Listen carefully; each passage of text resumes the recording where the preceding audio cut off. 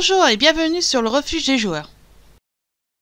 Déjà sur les autres consoles, Ma Fuente Pedro arrive sur PlayStation 4 le 2 avril 2020. Vous allez incarner un personnage étrange masqué. Ce dernier fait preuve d'un talent hors du commun lorsqu'il s'agit de viser tout en réalisant des acrobaties.